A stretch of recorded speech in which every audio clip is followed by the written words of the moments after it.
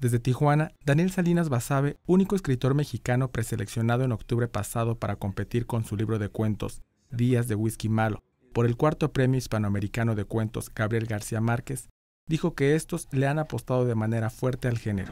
Un gran momento de la literatura mexicana, en donde estamos viendo exponentes muy jóvenes eh, que están realizando trabajos eh, que realmente merece la pena ser leídos. Que El también periodista opinó que contrario a lo que comúnmente se cree, que la lectura se encuentra en decadencia, son justamente los jóvenes quienes están a la vanguardia con este hábito.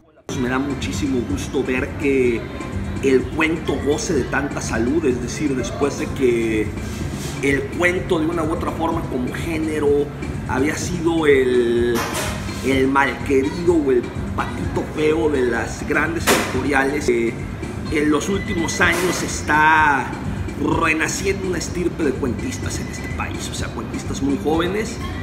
Y me da gusto que los grandes sellos le apuesten al cuento. Me da gusto que haya espacio también para, para el ensayo. Y creo que es un momento, yo diría, de efervescencia. Daniel Salinas Basabe se ha especializado en escribir libros que han ganado éxito editorial, casi cada uno de ellos con un premio o reconocimiento, obras comentadas por varios críticos y expuestas en importantes librerías de la región. Con información e imágenes de Manuel Rosales Padilla, corresponsal en Tijuana, Notimex.